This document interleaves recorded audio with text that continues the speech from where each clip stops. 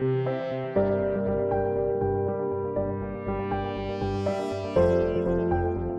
Black Belt program is a program that the main focus is, is about self improvement. That's what it's really about.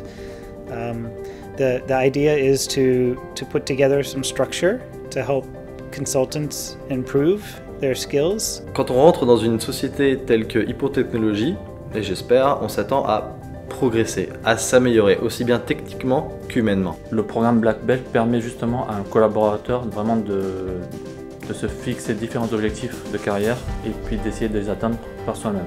Au niveau technique, euh, on ne sait pas forcément par où commencer pour s'améliorer en fait. C'est-à-dire qu'on travaille au quotidien avec certaines technologies, mais on ne voit pas forcément comment aller au-delà. Et le fait d'avoir un mentor derrière qui est techniquement bien meilleur que nous peut nous donner des pistes afin de euh, trouver d'autres manières de progresser. Il y a aussi des soft skills où là, le collaborateur est un petit peu obligé de sortir vraiment de sa zone de confort pour pouvoir progresser. Bah, le programme Black Belt, ça nous apporte un cadre pour, euh, pour piloter, la, pour piloter la, progression et puis la, la, montée en compétences. Et surtout en tant que manager, ça permet de donner des objectifs tangibles, mesurables à son équipe.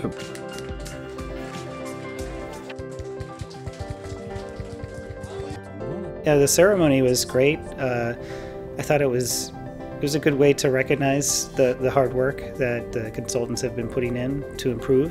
Euh, dans mon équipe, on était donc j'avais cinq personnes. On est donc on est six à avoir eu notre ceinture en fin d'année. Donc ça c'est déjà super concret de monter sur le tatami euh, euh, en kimono et se faire remettre une ceinture par Denise Sharp qui est qui est donc le CTO aux États-Unis. L'esprit du sport est très important euh, chez Hippon parce que le fondateur Stéphane Nomis c'est un ancien champion, un ancien membre de l'équipe de France de judo. La ceinture noire, donc la black belt, euh, c'est l'aboutissement d'un travail et d'une progression jour après jour.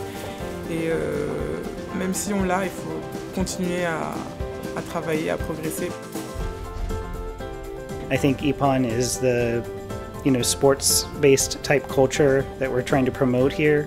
and the judo, the black belt, that fits very well with the type of culture we have. Uh, it's very team-based, um, uh, you know, competitive. We we want to deliver and we want to win, so it, it fits, I think.